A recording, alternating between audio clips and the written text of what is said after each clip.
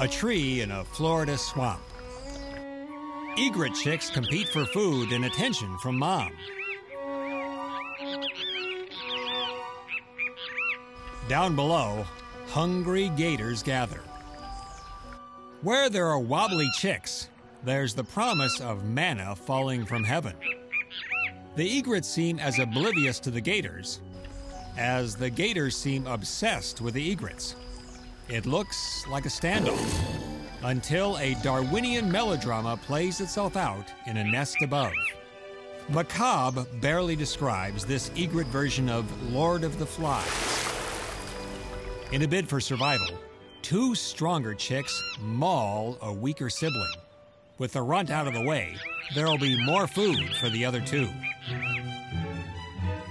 Down below, the alligators watch this grisly pageant eagerly.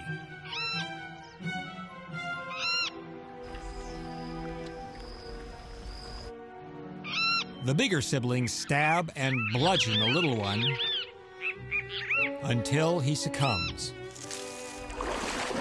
Then the Gators below make like NBA centers leaping for a rebound at playoff time.